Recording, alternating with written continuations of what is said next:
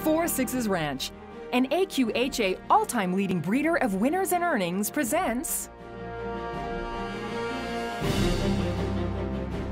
fourth fastest qualifier, J Bar.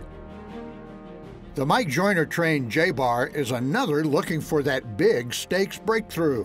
It might have come in last year's Dash for Cash futurity, but a knee chip sent him to the sidelines. Still, J Bar has impressed the trainer with his consistency. Except for a couple of times, he's been very consistent. Uh, uh, you know, the only time he hasn't uh, run first, second, or third was in the Rainbow Derby, and you know, he kind of caused his own problems there. He kind of missed the break a little bit, but uh, he's a big, strong horse, and he finishes really strong. And that's what he showed in his Derby trial. They're running.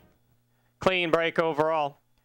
Five bar cartel show speed with Belle Helene at the rail is J bar and also Cheyenne's Mountain up front and then the icing one down and there goes J bar. J bar to strike the front. Five bar cartel battling away with that one. Then we have DM1 Hot Charmer. J bar, five bar cartel, but J bar is going to win from five bar cartel.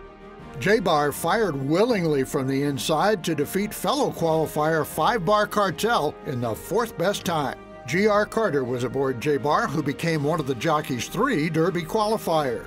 The gelding by Jess Zuman races for owner breeder Jerry Wyndham, who is also a partner in the Joyner Barnes other Derby finalist, Kate's Dynasty.